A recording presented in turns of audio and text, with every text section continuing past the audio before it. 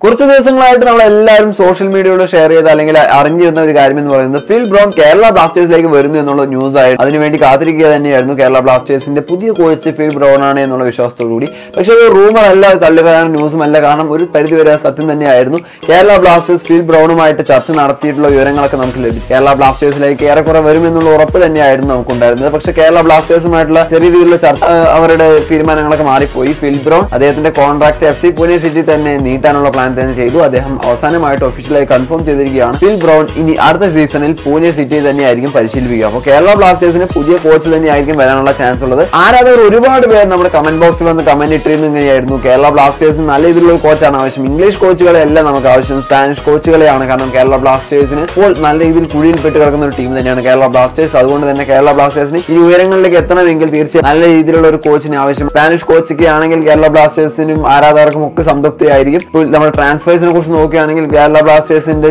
താരങ്ങളെ നിലനിർത്തിയതിൽ ആരാധകർ ഒട്ടും സംതൃപ്തരല്ല എന്നുള്ളതും നമുക്ക് അറിയാവുന്ന ഒരു കാര്യം തന്നെയാണ്. അപ്പൊ ഇനിയുള്ള കോച്ചിന്റെ കാര്യത്തിലും ഒരു നിരാശപ്പെടുത്തുന്ന റിസൾട്ടാണ് കേരള ബ്ലാസ്റ്റേഴ്സ് കൊണ്ടുവരുന്നതെങ്കിൽ അത് കേരള ബ്ലാസ്റ്റേഴ്സ് ടീമിനെ തന്നെ സാരമായി ബാധിക്കുമെന്നുള്ളതിൽ യാതൊരു സംശയമില്ല കേരള ബ്ലാസ്റ്റേഴ്സിന്റെ പുതിയ കോച്ചിന് വേണ്ടി എല്ലാവരും വെയിറ്റ് ചെയ്യുകയാണ്. സോ നിങ്ങൾക്കും തീർച്ചയായിട്ടും താഴെ കമന്റ് ചെയ്യാം. എങ്ങനെയുള്ള കോച്ചിനെയാണ് നമുക്ക് ആവശ്യം? ഈ ഒരു വിവരത്തെ വിവരത്തോടുള്ള നിങ്ങളുടെ അഭിപ്രായം സമീപനവും ഒക്കെ താഴെ കമന്റ് ചെയ്യാവുന്നതാണ്. സോ വീഡിയോ ഇഷ്ടപ്പെടുന്ന ഇഷ്ടപ്പെടുന്ന ലൈക്ക് ചെയ്യാനും ഷെയർ ചെയ്യാനും സബ്സ്ക്രൈബ് ചെയ്യാൻ മറക്കരുത്. മറ്റു വീഡിയോ മറ്റു ദിവസം മറ്റു കണ്ടുകൊണ്ടുവന്നതായിരിക്കും